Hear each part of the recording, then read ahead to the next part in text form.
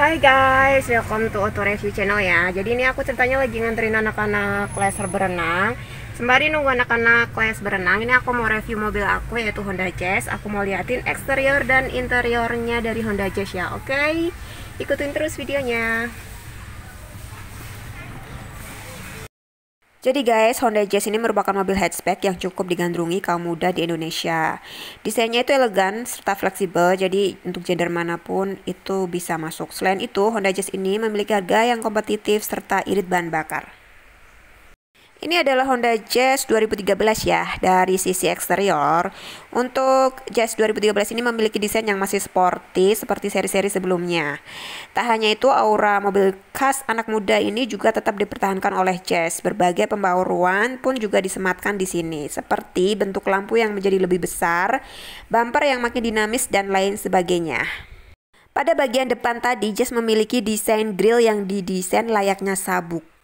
Di samping grill tadi tersemat sepasang lampu berukuran besar dengan teknologi halogen yang siap memberikan pencahayaan maksimal terutama saat mobil dipaksa melewati berbagai medan dengan pencahayaan yang minim.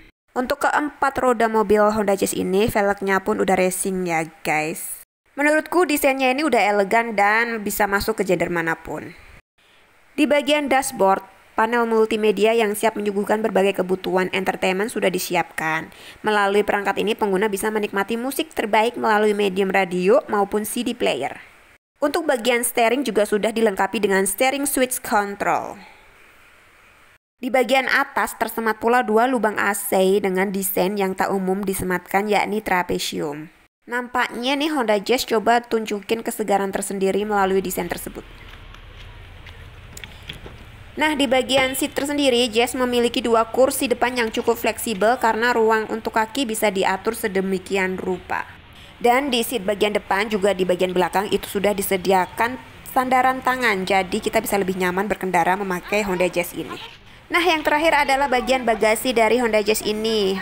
Bagasi Honda Jazz 2013 ini cukup besar ya, jadi beberapa tas besar, koper dan barang lain yang berukuran cukup lumayan bisa masuk ke bagian yeah. belakang akhir ini. Sekian ya guys review aku tentang eksterior dan interior dari Honda Jazz 2013. Thanks for watching. Bye bye.